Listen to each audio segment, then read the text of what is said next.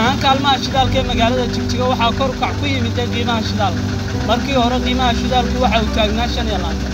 Haddase wuxuu marayaa soddon. Maalmaha qaar waxa uu kor u dhaafay ilaa shan iyo soddon. Taasi waxa ay sababtay in gaadiidlayda yaryar ee bajaajka uu ku yeesho saamayn fara badan. Iyaguna waxa ay kordhiyeen qiimaha lagu raacayay bajaajka taasi oo markii hore xaafadaha qaar lagu tegi jiray shan riyaal. Haddase ay noqotay toban riyaal warbixintan. Waxaynu ku eegaynaa saamaynta ay ku yeelatay bajaajlayda yaryar ee ku xoogsada gawaadhida yaryar ee bajaajka loo yaqaano sidoo kale waxaynu warbixintan ku eegi doonnaa qiimaha markii hore halka uu joogay iyo hadda halka uu marayo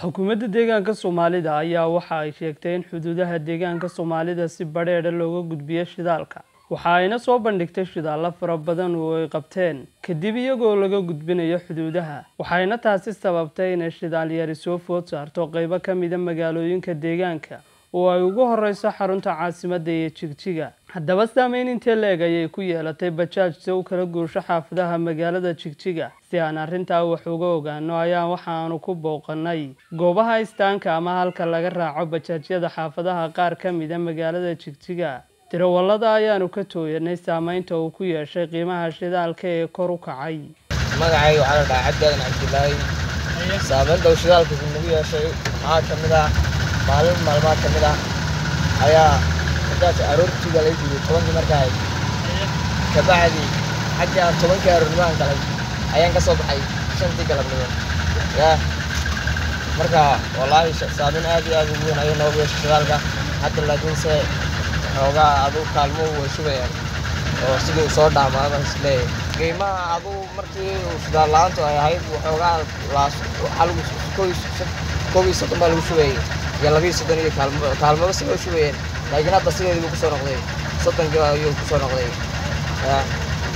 waa runta hadda soddon ayuu maraya horta dee dadku berigii hore waxaa lagu qaadi jiray shan riyaal ayaa lagu qaadi jiray hadda shidaalkii markuu soddon noqday ayaan toban ka dhignay dadkiina tobankii ma awoodaan oo waxay leeyihiin shan riyaal nagu qaad. Wallaahi markii hore shidaalka aad iyo aad baan dhib ugu qabnay. Kuyuu baan geli jirray maalintii saan kuyuu ugu jirro ayuu wakhtigu naga lumi jiray. Eegase laakiin dawladdu waxbay ka qabatay. Aad iyo aad bay u fiicanta wallaahi dhib buu nagu hayay. Saamayn ayaa awal hore aan ku qabnay iyo dhibaato. Laakiin iminka waan ka fiican nahay. Oo qiimihii waa laga jebiyey shacabkii wallaahi toban riyaal baan ka imsoo shan riyaal ayuu ahaa. Saamayn ohow nagu yeeshay waxaa weeyaan annagoo sideed litir doonaynaa kayuu la galnaa yuuroo doonaya shan boqoloo litir.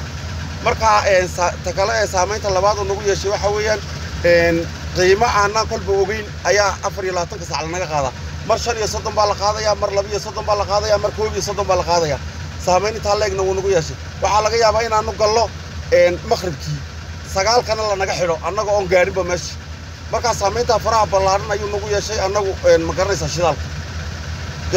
Qiimaha shidaalka oo sare u kacay ayaan la ogeyn halka uu ku dambayn doono iyadoo xukuumadda deegaanku dignin u dirtay mulkiilayaasha kaalmaha shidaalka ee caasimadda jigjiga. Waxaan ahay mustafa deeq wararka laanta afka soomaaliga c b a magaalada jigjiga